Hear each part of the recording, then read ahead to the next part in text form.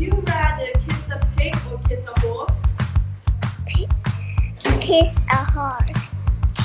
Would you rather have a phone or an iPad?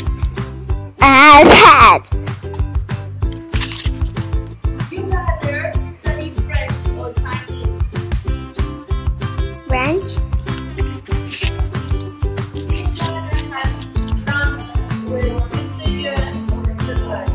Mr. Year.